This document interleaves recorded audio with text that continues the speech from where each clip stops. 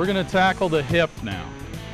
Now the hip is this piece here. This is a hip and ridge trim. So a hip cap is used, it's a lot like a ridge at a slope. Now one thing we want to keep in mind before we get into this about the ridge trim. A lot of times it's the exact same part that you'll use on a ridge as you'll use on a hip. The difference to keep in mind is pitch. This is a 612 pitch roof, but a, a hip cap for a 612 is going to be not as tight as a ridge cap for a 612. So you wouldn't want to use your hip trim on the ridge cap or else when you start putting those screws in, it's gonna, it's gonna pull and fight, create some waves all the way down. All right, so that's basics on the trim real quick. Now we want to get into how do we cut these panels, make sure that they're right every time. It's a good thing Dave's here because he's got some tricks. As you know, every hip and valley panel has a long side and a short side. Yep. So what we're going to teach people today is how to easily take those measurements. Okay, And the tool that we're going to use is the two foot square. okay. So let's have a conversation about the width of the panel because most people automatically assume that they're going to be calculating their hip or their valley off of the 16 inches of coverage. Yeah, it's a 16 inch panel. It is a 16 inch panel, but the true width of the panel from outside edge to outside edge is 17 and a half inches. And if let's, let's put this panel up here and Yeah. we'll take a look. So if we measure this panel from outside edge to outside edge, as I said, you can see that it's 17 and a half inches. And that's the measurement that we need to use because when we're calculating our angles, we're going from the outside to the hip, which is on the other outside of the panel Okay. okay? And if you look at the square, they can see that I've made a mark that's easy to see at 17 and a half inches. Okay. All right, so let's see how you use that mark. Okay, so lining the square up with the inside of the last panel, we're gonna slide this up until our 17 and a half inch mark hits the hip. And we can see that right there is where we've hit. And we can transfer that measurement over to the panel by making a mark here. And what that does is it gives us the short length of the panel and we know what our length, our long is already. All right, so this is gonna be our first hip cut. That's correct. So we know we need a full length sheet. That's correct. Okay. In this case, we have a panel that we're going to come across about six inches and then start our angle. So we'll have to, we'll measure for that, and then we'll transfer the short measurement Okay. to the panel. And that'll go here. That's correct, All right. right? So just to recap, this panel that's going on, we have a measurement from here to here, and then we have an angle to calculate, but it's easy because we've based it off of the square. Okay. Sounds good. What I'm going to do now is take the long measurement, measuring from the top of the panel down to the eave. So that's 41 and an eighth inches. The next measurement, which is the short on the angle, from the line that we just made, is 29 and 3 eighths. And the distance from the top to the hip is seven and a quarter inches. What I'm going to do is take those three measurements, transfer them to the back of a panel, and cut the panel. So we've shown you how to take the measurements for a hip panel, and now we're going to transfer those measurements to the back side of this panel, join our lines, and make our cuts. But I want to point out something really important. At the eave of this panel, there's a one inch clip that clips onto the drip edge. Now this panel's already been prepared with the clip. If you don't prepare it first, you have to account for the one inch. You would add one inch to all of your measurements. In this case, we don't have to because it's already been finished. On the next panel, we'll show you how to do that. Our long measurement is 41 and an eighth, and that's what this panel already is. We know that we have to come over seven and a quarter inches and make a mark before we hit the hip. So let's do that.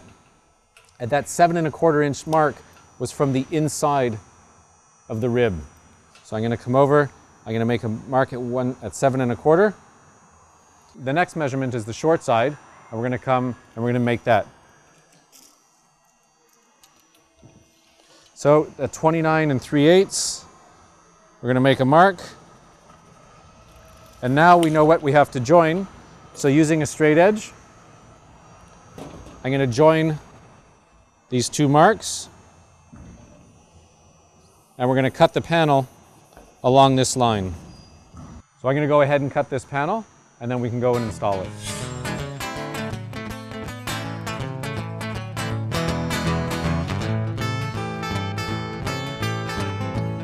So I just finished cutting the angle. So if you look at the panel, you can see that we have our seven and a quarter inches at the top. Here we hit the hip, and then this is our angle from long to short. So now we have a panel that's been cut to the hip angle as well as the small portion at the top.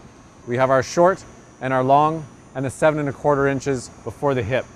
So let's put this panel on.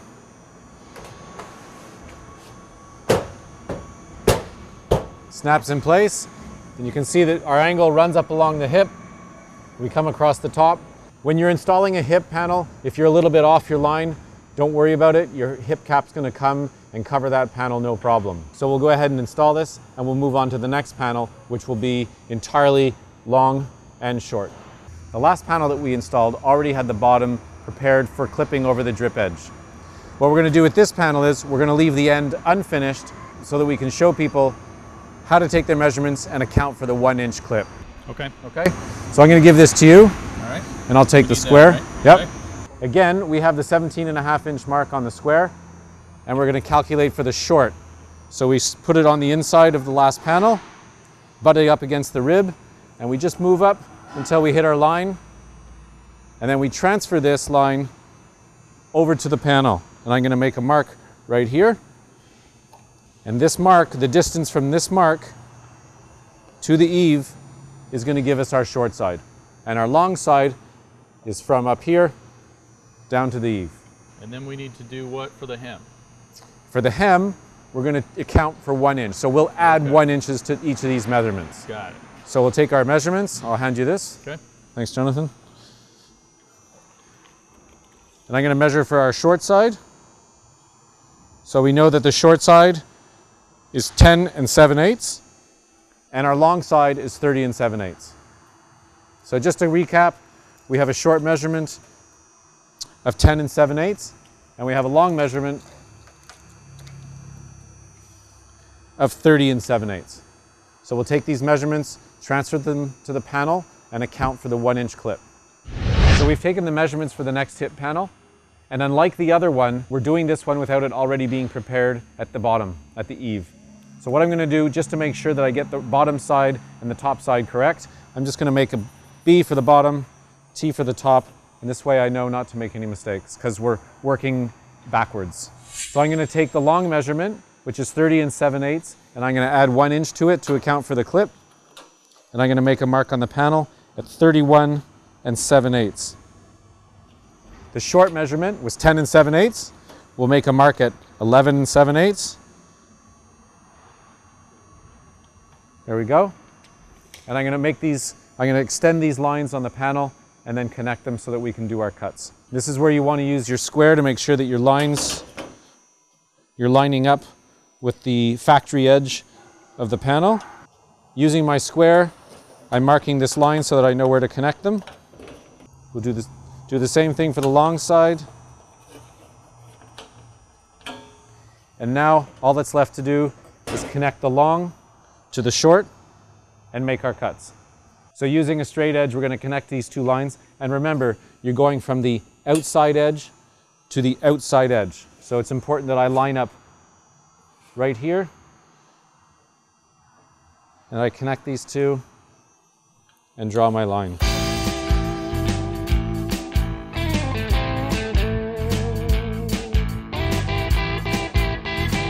So now we have the finished panel on the hip where we took our short measurement, joined it with our long, and we finished the eave. We made sure to add one inch to our measurements to account for the clip. And now we'll install it. Come in here, clip it in, knock it up, and we can see that we're running with the same angle as our hip. And like I said, it doesn't matter if you're a little bit off your hip line, your hip cap's gonna come and cover that, and it's not a problem. Okay, so we'll go ahead and install this, and then we can take our measurements for the next panel. As you can see, we're on our last panel on the hip, and this is gonna be a very small panel, so we have to calculate our long, and we have to take the width to our zero point. So by measuring from the top of this to the bottom, we can see that it's 12 inches. And if we measure over from the inside right to there, we can see it's about 10 and 3 quarters. So if we go from this measurement out 10 and 3 quarters and join those two lines, that'll be our final panel for this hip. So we'll go over to the table, prepare it, and come back and install it. So we've taken the measurements and prepared our final hip panel. As you can see, it's a small little piece. We're going to install it here on the hip, slide it up, and that finishes the hip panels on this side of the hip. We still have the other side of the hip to do before we can install the hip cap, and we'll get to that next.